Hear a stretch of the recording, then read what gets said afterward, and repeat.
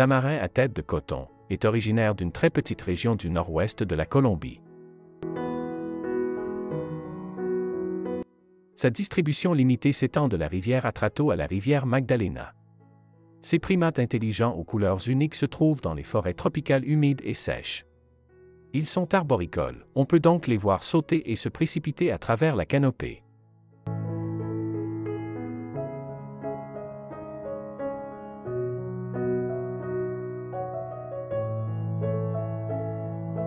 Le tamarin à tête blanche, Saginu oedipus, est un petit singe du Nouveau Monde pesant moins de 0,5 kg.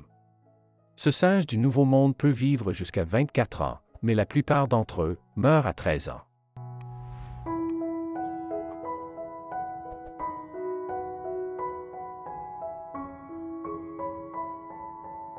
Les tamarins à tête de coton sont étonnamment colorés et portent un nom approprié, avec un doux panache de cheveux blancs qui encerclent leur petit visage gris et argenté dans un halo lumineux. Leurs pattes, leur ventre et leur poitrine sont également blancs, et leur dos et leur queue sont un beau mélange de brune et de noir.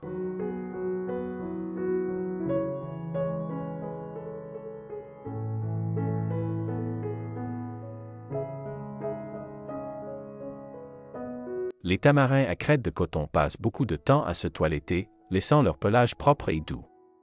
La majeure partie de leur corps est recouverte d'une longue fourrure, à l'exception des poils gris très fins et courts qui recouvrent leur visage et leurs oreilles.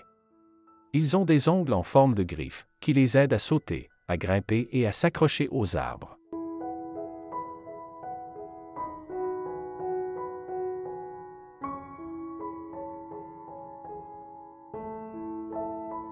En raison de la petite taille de leur tube digestif, les tamarins pinchés ne doivent consommer que des aliments de la plus haute qualité pour rester en bonne santé.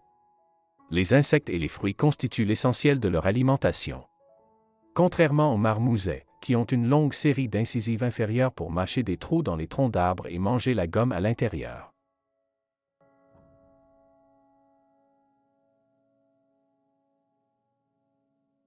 Les tamarins n'ont pas les adaptations nécessaires pour percer l'écorce. Par conséquent, ils doivent compter sur d'autres animaux ou processus naturels pour ouvrir des trous dans les arbres afin qu'ils puissent atteindre la gomme.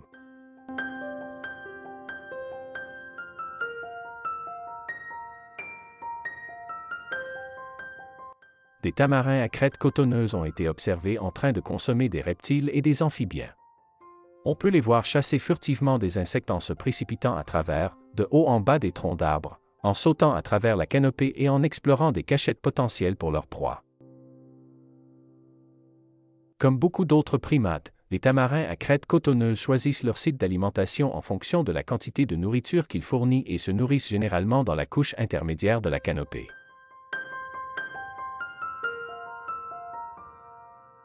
Une journée dans la vie d'un tamarin à crête de coton consiste à chercher de la nourriture, à se reposer, à se toiletter et à voyager.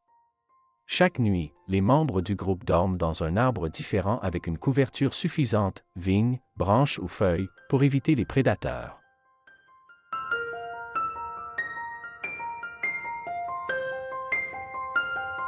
Ils vivent en groupe de 2 à 7 individus, avec un à deux mâles et femelles reproducteurs.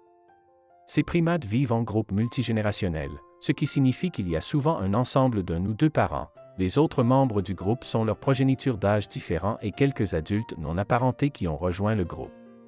Le mâle et la femelle reproducteur sont les membres dominants du groupe. Cela est particulièrement vrai pour la femelle reproductrice, qui prend le pas sur les autres membres du groupe en matière de nourriture.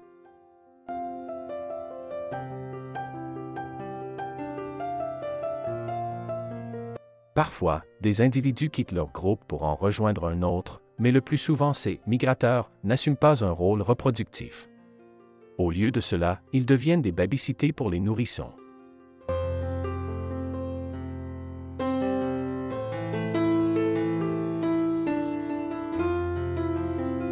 Dans l'ensemble, les tamarins à crête de coton sont amicaux avec les autres membres du groupe, à quelques exceptions près.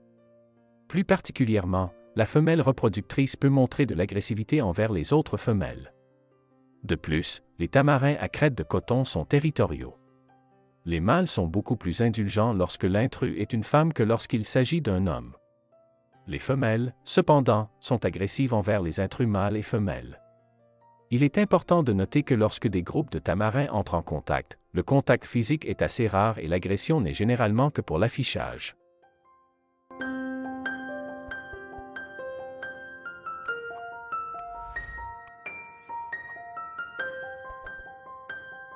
Lorsque des prédateurs, tels que des serpents, des grands félins ou des oiseaux de proie, se trouvent dans la zone, tous les membres d'un groupe travaillent en équipe pour se défendre et défendre les autres membres du groupe. Tout individu blessé est farouchement défendu par le groupe. De plus, pendant les périodes de repos de la journée, un individu monte la garde pendant que les autres se détendent, alertant le groupe de toute menace. Ce lien de groupe entre les membres est également illustré par le temps qu'ils passent à se préparer mutuellement pour créer et renforcer des rats.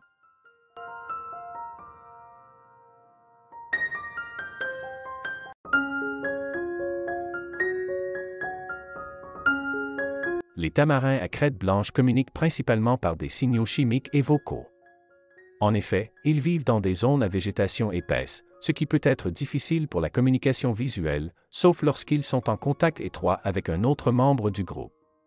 Ces signaux visuels rapprochés et personnels peuvent varier du mouvement de la langue à la découverte des dents en passant par le déplacement de l'éventail blanc sur la tête pour montrer de l'agressivité.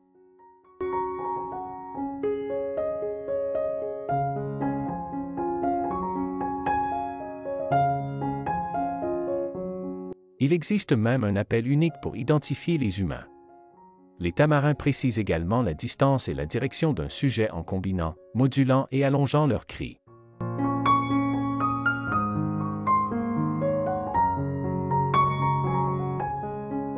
Leur communication chimique comprend l'utilisation d'odeurs à des fins d'identification et de reproduction. Les femelles et les mâles ont tous deux des glandes situées près de leurs organes génitaux et de leur anus, mais les femelles utilisent les leurs plus fréquemment. De plus, la glande olfactive femelle est plus développée et est utilisée dix fois plus que les mâles pour marquer leur territoire et signaler l'ovulation.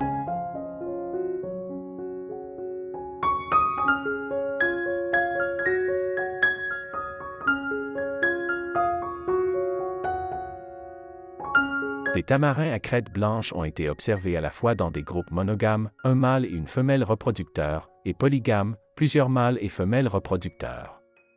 Cependant, une seule femelle reproduit activement sa progéniture dans chaque groupe. Son comportement et ses signaux chimiques suppriment les autres femelles sexuellement matures du groupe. Dans certains cas, un mâle errant peut rejoindre le groupe et provoquer l'ovulation d'une femelle. En conséquence, cette femelle peut tomber enceinte, mais un seul enfant naîtra.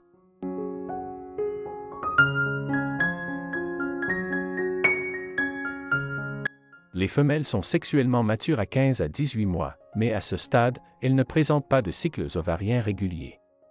Si la femelle dominante est supprimée, la fille aînée ou la femelle la mieux classée commencera à ovuler et remplacera la femelle dominante. Elle supprimera alors les autres femelles du groupe. Son cycle ovarien dure 15,5 jours et elle ne montre aucun signe physique d'estru. L'accouplement a lieu tout au long de cette période.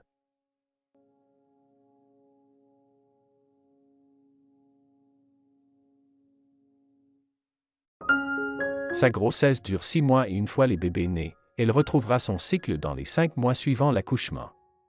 En moyenne, 48 semaines s'écoulent entre les naissances, qui sont généralement saisonnières, avec davantage pendant la saison des pluies en raison de la grande quantité de fruits disponibles.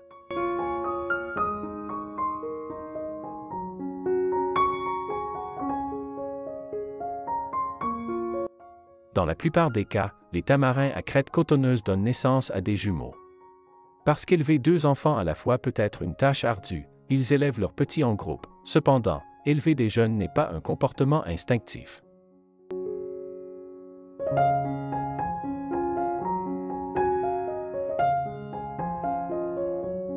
Au cours de la première semaine de la vie des nourrissons, la mère est principalement responsable de leurs soins. Une fois la première semaine de vie passée, D'autres membres du groupe, en particulier des hommes, aident à porter les jumeaux et à échanger de la nourriture avec les nourrissons. À 10 semaines, les jumeaux peuvent être plus indépendants et ne sont portés que 50% du temps, et à 14 semaines, ils ne sont plus portés.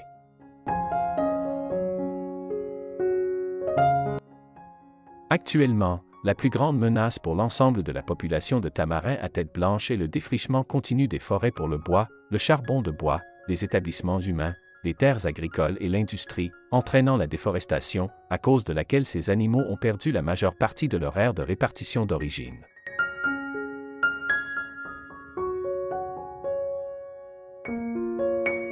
En conséquence, ces primates se trouvent aujourd'hui dans des populations isolées, habitant des vestiges fragmentés de leur ancien habitat.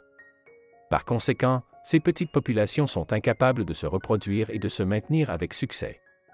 La population du nord de la Colombie souffre encore plus en raison du développement rapide des établissements humains dans la région. D'autre part, la déforestation ouvre la voie à une gamme autrefois inaccessible de tamarins à crête blanche, et ces primates sont souvent piégés par des collectionneurs d'animaux et vendus dans les villes portuaires ou exportés.